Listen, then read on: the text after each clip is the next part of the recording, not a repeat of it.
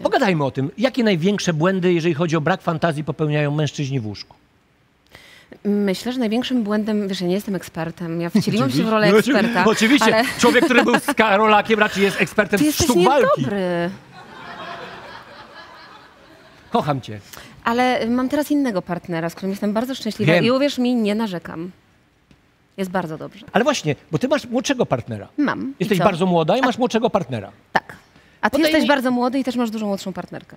Albo? Nie żyją już wszystkie się? starsze ode mnie partnerki, błagam cię. Ja byłem ostatnio na spotkaniu klasowym. Wiesz, gdzie było? Gdzie? Na Powązkach. No wiedziałam, że to powiesz. No tak, błagam cię, dziewczyno. No przecież my już czytamy o tym, co u nas słychać w nekrologach, no. No słuchaj, nie przejdziesz tego, no naturalna kolej rzeczy, każdego to czeka. Ja jestem przeciwnikiem śmierci. Ale możesz wiele nadrobić jeszcze. Bardzo się Również w sferze seksualności. staram. Tak. No. Tylko widzisz, seks starszych ludzi... Zresztą skąd ja mam o tym wiedzieć? Słuchaj, Wisłocka twierdziła, że seks starszych ludzi może być fantastyczny. Oczywiście. I że tak naprawdę często, gęsto dopiero w poważnym wieku możesz odkryć gwiazdy, więc wszystko przed tobą. A powiedz mi, em, ja ostatnio czytałem, że 25% Polek marzy o seksie z nieznajomym. Przepraszam, ale my na przykład nie chcemy seksu z nieznajomą. To głupio tak. Ja nigdy nie marzyłam o seksie z nieznajomym. Naprawdę? Naprawdę. No ale no, 25% y, ko- kobiet marzy. Dlaczego? Ale to ciągle mniejszość. To jest jedna czwarta.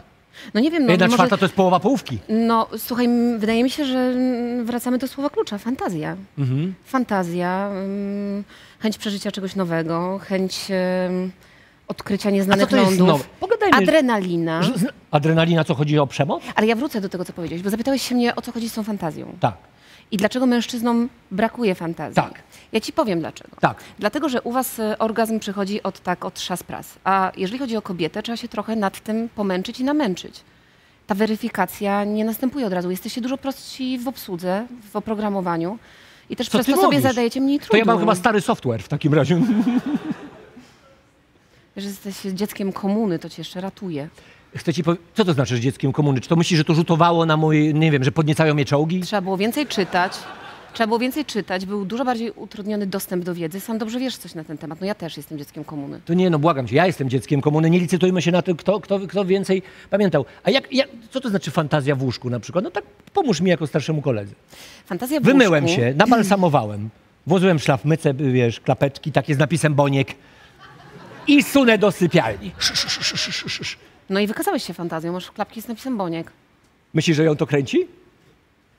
Myślę, że ją nie. Ona mnie, wtedy, ona mnie nie chce wtedy na boisko wpuścić.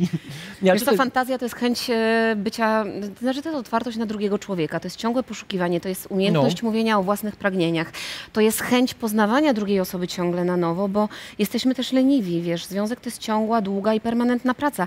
Trochę o tym jest też sztuka kochania. Mówię Ale ja o widzia- samej książce, która oprócz tego, że się czyta jako fantastyczną beletrystykę, jest też skarbnicą wiedzy dla osób, które nie wiedzą jak.